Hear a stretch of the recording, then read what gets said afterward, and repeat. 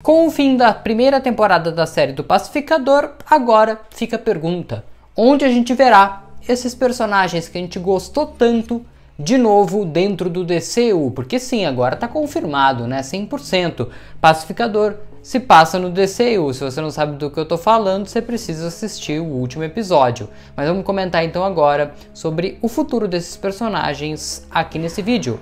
Eu sou João Marcos Carneiro e esse é o Cultura Pop CIA. Seja muito bem-vindo. Fala galera, o futuro dos personagens de Pacificador é a pergunta que eu espero poder responder para você nesse vídeo aqui. Vamos começar pelo mais fácil, que é a Harcourt, que havia um boato, uma especulação de que ela apareceria, apareceria né, em Adão Negro, que é o filme que estreia em julho desse ano. E tá praticamente confirmado, galera. Sim, o próprio James Gunn, numa entrevista recente, ele falou que né, todo mundo já está sabendo de uma possível participação de um personagem dessa série num projeto futuro da DC. Então ele meio que assinou embaixo, falou que é verdade então agora a gente só senta e espera a Harcourt, que quase morreu nesse último episódio, aparecer em Adão Negro. E aí já pensou? A gente pode ter no futuro próximo uma junção, um encontro entre o Adão Negro do The Rock e o John Cena, né, que interpreta o pacificador, em seria um encontro da pesada. E eu acho que os dois poderiam unir forças, né, e não lutar um contra o outro, até porque também o Adão Negro é muito mais poderoso do que o Pacificador, que é um ser humano normal tal, né? Ele só atira, ele só é meio louco, né? Mas tirando isso, o Adão Negro acabaria com o Pacificador rapidinho. E seria um encontro legal também, né? Pensando que são dois anti-heróis, né? Mas o encontro mais legal que esse é o nosso aqui agora, hein? Você que é novo por aqui, já se inscreve no canal para não perder mais nada de DC aqui comigo no canal. Diferente de outros amigos meus, de companheiros meus, de canais aqui que a gente está crescendo no YouTube, eu não desisto da DC. Não estou fazendo crítica a ninguém não, só estou comentando que eu não desisto. Apesar de me xingarem, de falarem que eu não falo da DC, eu não tô seguindo aquela música da Disney e não falamos do Bruno, né? Não falamos da DC. Não, eu falo sim. Eu estou aqui falando da DC e eu quero ter muito você aqui comigo. Bora nessa? Vamos juntos? Muito obrigado pela sua companhia e vamos seguir aqui analisando esse futuro desses personagens do Pacificador. Bom, Harcourt, beleza, tá fácil.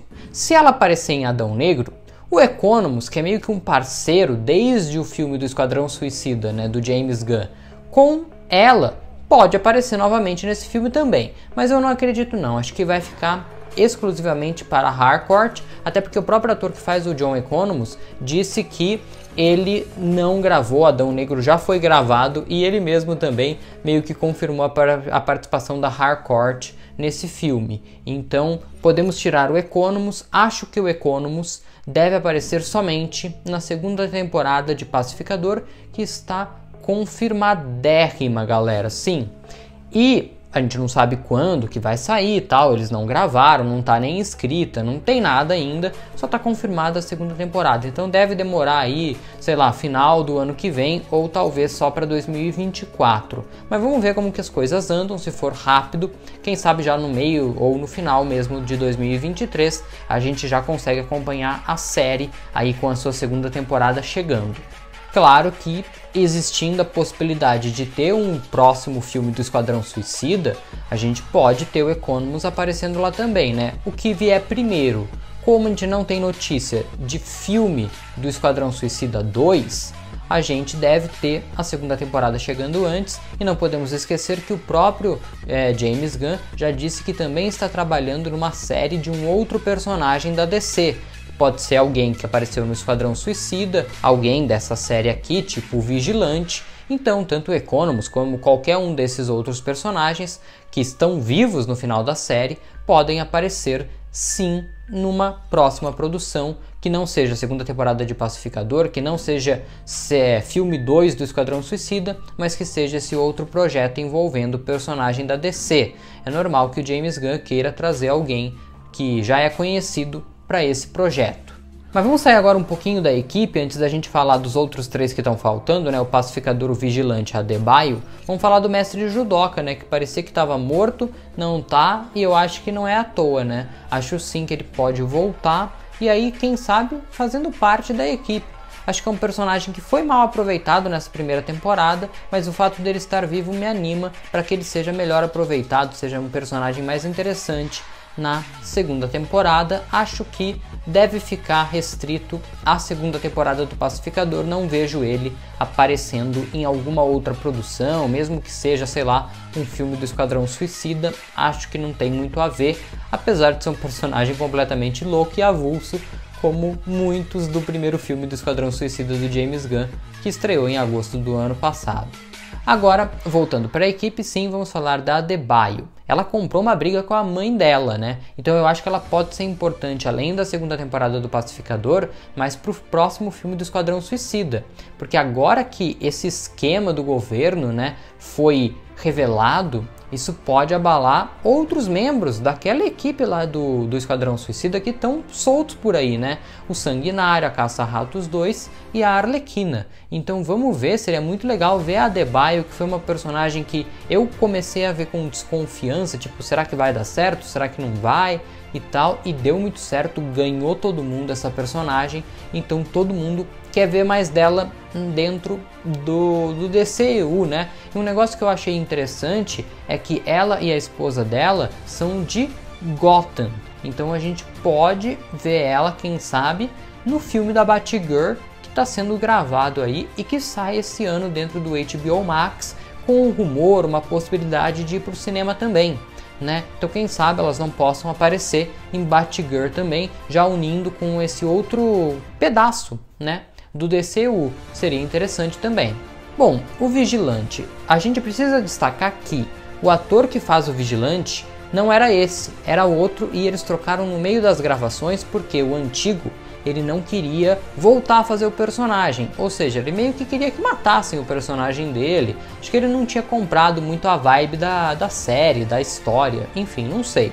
Mas esse aqui ficou perfeito, foi uma escolha excelente. Agora sim, não dá para saber como ficaria com o outro ator, mas essa escolha que a gente viu aqui foi perfeita.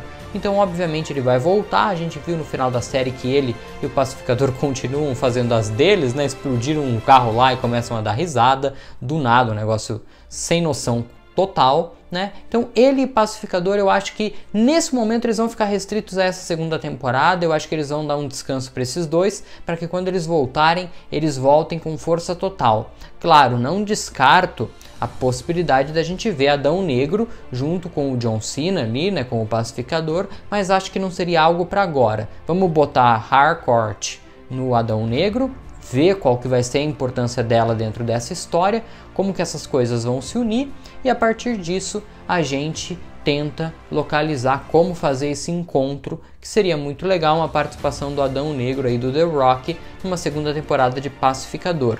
O que me, me causa estranheza e acho que pode virar um problema, vir a se tornar um problema, é justamente a classificação etária, porque tanto o Pacificador quanto o Esquadrão Suicida são negócios né, para 16 anos aqui no Brasil, 18 anos nos Estados Unidos, é um negócio mais pesado. E Adão Negro e as outras produções da DC são de um nível ali 12, 13, no máximo 14 anos. Então isso pode virar um problema, ou alguém vai ter que subir o nível, ou alguém vai ter que abaixar o nível. E aí tirar o pacificador de um lugar onde ele pode falar palavrão, falar um monte de besteira e que ele não vai ser cancelado por causa disso, pode virar um problema. Então eu acho que você tirar o pacificador desse, dessa zona de conforto, um problema grande. Mas vamos ver, vamos dar um voto de confiança, vamos ver como que eles podem consertar.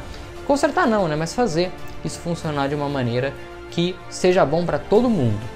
E com certeza bom para todo mundo vai ser o momento em que você se inscrever no canal, então fica aqui mais um tempo comigo para assistir os próximos vídeos. Lembrando que hoje mesmo eu já falei do oitavo episódio de Pacificador, tô falando agora do futuro desses personagens e em breve também a gente vai ter ainda hoje no canal um vídeo falando da participação da Liga da Justiça nesse oitavo episódio. Espero não ter te dado spoiler, mas a gente vai conversar sobre isso num outro vídeo com mais detalhes, então fica ligado aqui no canal. A gente te vê, a gente te espera, né? Eu tô te esperando no próximo vídeo. Aqui do lado tem então um resumo de pacificador para você com todos os vídeos comentando os episódios. Um grande abraço, até a próxima, a gente se vê.